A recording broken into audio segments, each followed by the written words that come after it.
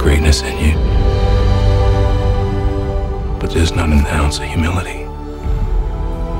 You think that you can't make mistakes, but there's gonna come a moment when you realize you're wrong about that. And you're gonna get yourself and everyone under your command killed.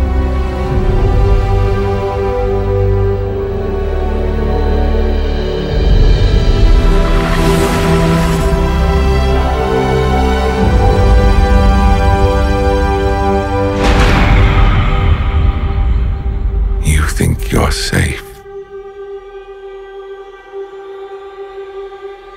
You are not.